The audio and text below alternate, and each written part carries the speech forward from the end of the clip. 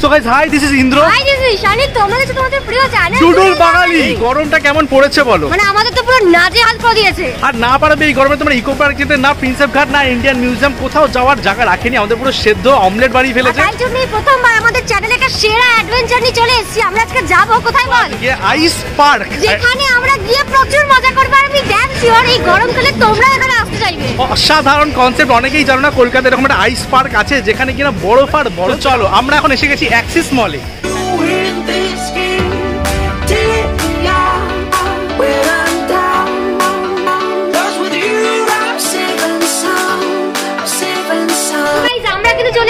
Axis মলের ছতলায় পেছনে দেখতে পাচ্ছ কাউন্টার আর এখানেই আছে স্নো পার্কটা আর টিকিট প্রাইস হচ্ছে মাত্র ফোর নাইনটি নাইন তোমার দুজনের টিকিট লেগেছে নাইন হান্ড্রেড নাইনটি এইট টাকা।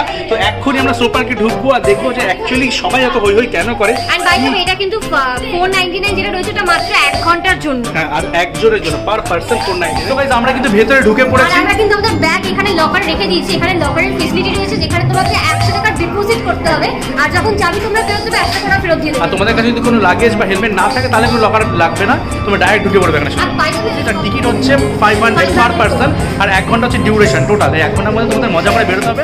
এখানে কিন্তু একটা ব্যাগ দেওয়া আছে যেখানে জুতোগুলো ঢুকিয়ে রেখে দিতে হবে। আমার জুতোটা রাখ। নিচ্ছি দাঁড়া।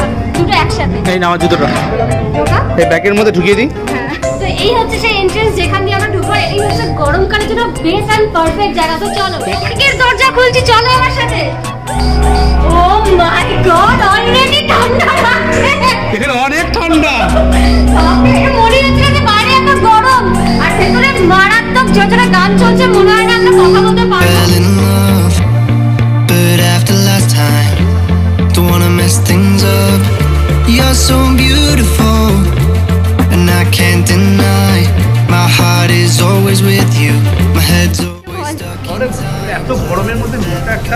ভেতরে অলরেডি এসি চলছে। ঠিক আছে নতুন। এক্সপিরিয়েন্স হ্যাঁ আমারও। তো আমার আগে যে উইঞ্চিটাটা দিয়েছিল ওটা আমার সাইজে হয়নি। তো এখন আমি যদি বললাম যে সাইজটা একটু বড় সাইজ দিতে তো দিয়েছে এখন হয়নি। জুতোটা এবার পর। সাইজ দেখ। বসে নে। না না। ভিড় আছে না? ভালো ভিড় আছে। যত গরম হবে তত ভিড় তো আরও বাড়বে। তো এই যে গ্লাভস দিয়েছে তো গ্লাভসটা পরি। আমার সাইজ একদম পারফেক্ট একটা জুতো দিয়েছে ছোট একদম সাইজে আর এটা নেই গ্লাভস দেখো একবার পুরো আমার হাতে আমার ছোট ছোট সাইজ যেরকম। আমাকে গ্রিন কালারের দিয়েছে দেখ। আর আমাকে এই তোকে কালো। ও মাই গড অলরেডি ঠান্ডা লাগছে। স্নো পার্কে ঢুকেই আমি ইগলু দেখতে পেলাম। আর ইগলুতে আমি এই ঢুকছি ঢুকছি দাঁড়া দাঁড়া আমি ওদিক দিয়ে বেরোবো এক্ষুনি। এই বেরিয়ে পড়েছি কত বড়। গাইস এবার আমি ইগলুতে ঢুকবো আর ইগলুর ভিতরে ঢুকতেই দেখলাম পুরো অন্ধকার চারিদিক। আমার জিন্স প্যান্ট আর জ্যাকেটে পুরো বরফ লেগে জল হয়ে গেছে। অনেকটা বড় ভেতরে ইগলুর আর এবার বেরিয়ে যাওয়ার পালা। আরেকটা মুখ দিয়ে একটু বরফ নিয়ে খেলি। ও!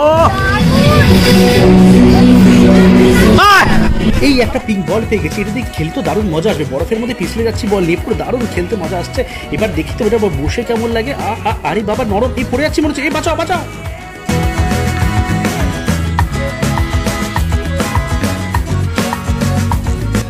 দেখো কি পেয়েছি আমি? এত মোটা একটা টায়ার, আমার থেকেও বেশি ওজন মনে হচ্ছে। এবার দেখো এটা নিয়ে আমি কি করি? স্লিপে উঠে পড়েছি, কি মজা আসছে, কিন্তু থামাচ্ছে না কেন? কেউ হেল্প হেল্প তো বাঁচাও আমাকে। ফাইনালি থেমেছে বাবা, কিন্তু আমি উঠতে পারছি না কেন? যাই হোক, আমাকে একজন হেল্প করল বলে নলে যে কি হতো?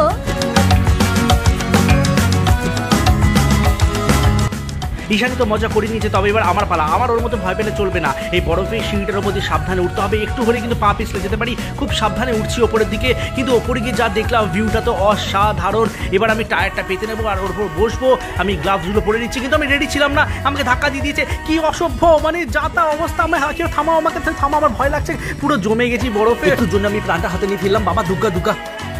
হঠাৎ করে সব মেন লাইট অফ করে দেওয়ার পর ডিসকুলার চালিয়ে দেওয়া হলো। আর এই সময় কিন্তু স্লিপে ওঠা যায় না। তাই আমরা যে যার মতো নিজেরা খেলায় মেতে উঠলাম। ঈশানি আমার উপর শুধু বরফ আর বরফ ঢেলে দিচ্ছে। বুঝতে পারছে না যে আমার জ্বর চলে আসতে পারে। কিন্তু আমি কি করছি দেখো? আমিও মজা নিচ্ছি। ওই জ্বর আমার চুলের মধ্যে বরফ ঢুকে যাচ্ছে। উইনচিটারে বরফ চুল পুরো নষ্ট করে দিয়েছে। সকালে শ্যাম্পু করে এসেছিলাম।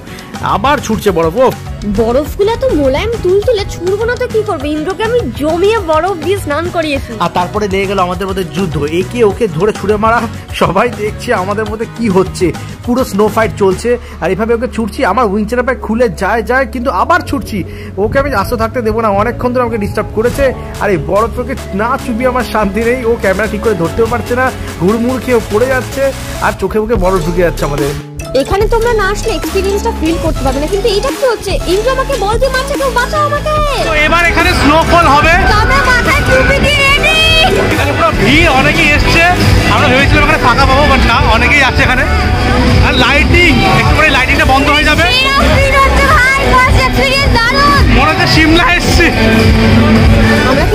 জায়গাতে সবাই মিলে জড়ো হয়ে গেছিলাম কারণ ওরা বলেছিল এখানে নাকি স্নোফলস হবে।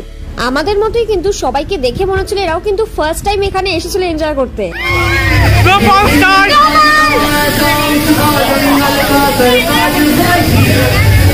হঠাৎ করে দেখি বলিউড সং চালু করে দিয়েছে আর নিজেদেরকে আমরা কন্ট্রোল করতে না পেরে মনের আনন্দে লাফালাফি শুরু করে দিয়েছি।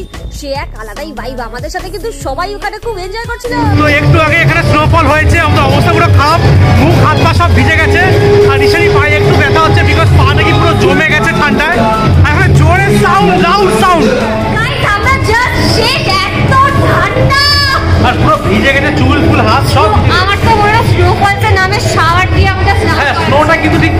এখানে শাওয়ার মানে জল ঠান্ডা জল ফল এক ঘণ্টা প্রায় শেষ হতে চলল। তাই চলল সেটাই।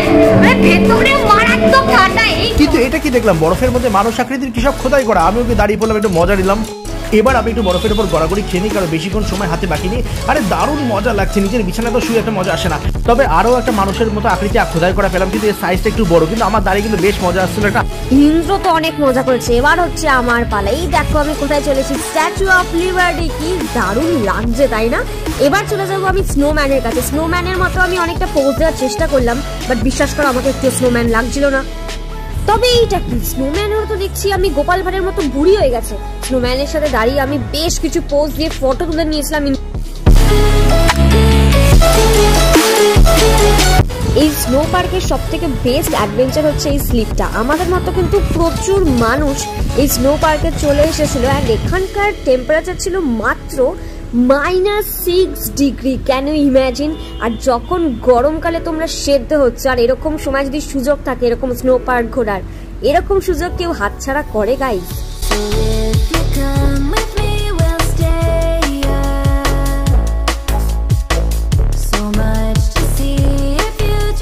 আমার সাথে কাদের দেখা হয়ে গেলো? দেখো দুটো কাকা স্লেজিং করে সবাই ফিরেছে রং চঙে জামা পরা। কি কাকা কেমন আছো? আরে দাদা এত ঠান্ডায় ঘুরলে হবে?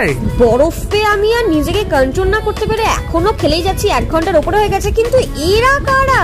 এইসব কি হচ্ছে এখানে? এখন বাড়ি ফিরবো। ছু থামরে আর কত বরফ ছুড়বি? আমার তো সর্দি লাগিয়ে দিবি। আমি এবার এখান থেকে বেরোবো অনেকক্ষণ হয়েছে। যতক্ষণ এখানে থাকব বরফ ছুড়েই যাবে। পালাও গাইজ অসাধারণ এক্সপিরিয়েন্স তোমরা এখানে এসে একবার ট্রাই করো। দারুণ লাগবে। এই আমরা ফার্স্ট টাইম এলাম। স্পেশালি এই গরমকালে। এখন এই জ্যাকেটগুলো ফেলে দিচ্ছি। বরফে পা আটকে গেছে। সিম্পলি বরফে পা আটকে গেছে। তো guys, এটা হচ্ছে মিরার সেলফি জোন এখানে কিন্তু সবাই মোটামুটি ফটো তুলছে। আমরা এখন দাঁড়িয়ে দাঁড়িয়ে ভিডিও করছি। আর আর ভেতরে অসাধারণ এক্সপিরিয়েন্স মানে সত্যিকারের বরফ ধরলাম মনে হলো। মারাত্মক ঠান্ডা। আর পুরো ফ্রিজিং পয়েন্ট মানে মাইনাসে রান করছে না। গ্লাভসও খুলবে না জ্যাকেটও খুলবে না কিচ্ছু খুলবে না যদি খোলো পুরো জমে যাবে। ওর পা পুরো ফ্রিজ হয়ে গেছে এখন ও বলছে কফি খাবে। হাত ফাত পুরো চিজি করছে। অনেকক্ষণ ধরে এতক্ষণ ধরে বসেছিলাম আমার হাত পুরো ফ্রিজ হয়ে গেছিল। বাচ্চা থেকে পুরো সবাই এখানে আসছে কিন্তু। বাই দাবি এখানে কিন্তু এক ঘণ্টা যদি বেশি হয় ওরা কিন্তু এমন কিছু জোর জুলুম করছে না যে এক ঘণ্টা হয়ে গেলে বের করে দিতে হবে। আমাদের ছিল লকার নাম্বার ফর্টি টু এখন আমরা নিয়ে নেব এখানে আমাদের luggage। এই শাড়ির ব্যাগ নিয়ে তোর ব্যাগ ধর।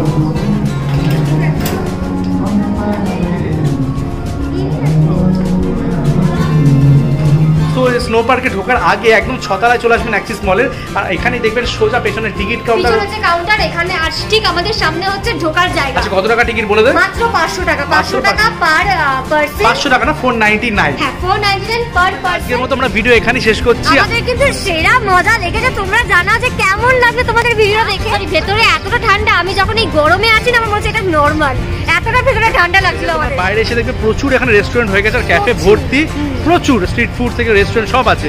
তোমরা এখান থেকে লাঞ্চও করে নিতে পারো আমরা তাই করছি এখন। আর ব্লগটা যদি ভালো লেগে থাকে তাহলে লাইক শেয়ার আর সাবস্ক্রাইব করতে ভুলো না।